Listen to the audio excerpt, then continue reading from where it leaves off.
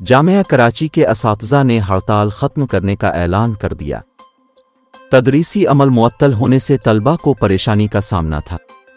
निगरान वज़ीर आला सिंध से सेक्रेटरी यूनिवर्सिटीज़ एंड बोर्ड्स ने मुलाकात की, जिसमें जामिया कराची के असातज़ा और इंतज़ामिया के दरमियान पाए जाने वाले मामलात पर तबादला ख्याल किया गया।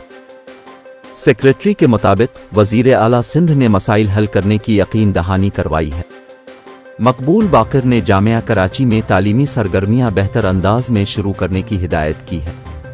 निगरान वज़ीर आला सिंध का कहना है कि हम खुद इस के मसाइल हल करेंगे।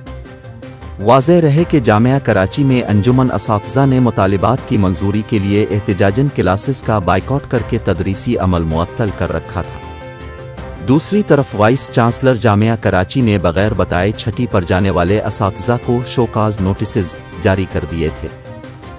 यूनिवर्सिटी में तदरीसी अमल मअतल होने से तलबा को परेशानी का सामना था।